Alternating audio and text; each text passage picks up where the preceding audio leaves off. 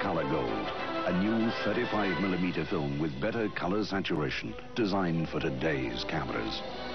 Keep it with Kodacolor Gold and take the next step into a clearer, brighter, more colorful future. In 1888, Kodak was born, striving to create and develop technology that would make photography as convenient as using a pencil for professionals and amateurs alike.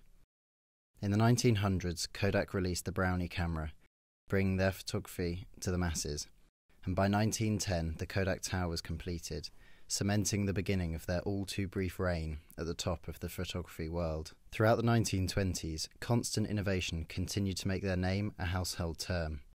By the 1970s, Kodak had a 90% market share in film and an 85% market share in cameras and was practically synonymous with photography. In 1977, Kodak's Steve Sasson was granted a patent for the world's first digital camera.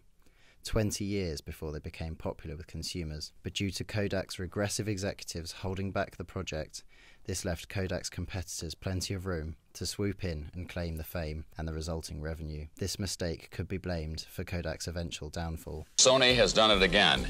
This is the latest in camera technology. It is called a Mavica. That stands for Magnetic Video Camera. It records images on a magnetic disc, and then those are transmitted on television. Even though the late 1900s were tough for Kodak, their impressive history had firmly planted them in the minds of everyone worldwide, truly making every moment a It's a Kodak moment. In fact, it was in 1996 that Kodak witnessed its highest profit and net worth ever. Its empire held a revenue of $16 billion, making it the fifth most valued brand in the world.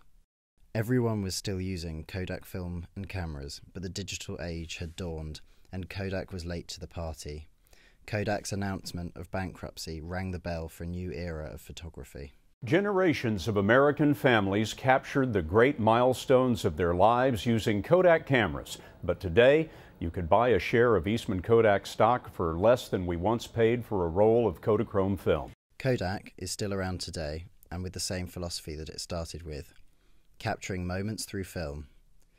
Kodak is trying to embrace the digital world, to which it once ignored, but still emphasize its focus on delivering physical pictures. Their values remain as important as they ever were. Sustainability, honesty, creativity, and inclusivity truly mark Kodak as one of the world's most progressive and forward thinking companies in recent years. However, in order to keep up with an ever changing world, Kodak needs to expand and grow away from their traditional product lines in photography and print. We propose that Kodak stretch into a new market segment and focus on connecting families through creating shared moments. As Kodak looks to the future, it is clear that a shift again is once needed to regain its once legendary hold in the commercial world.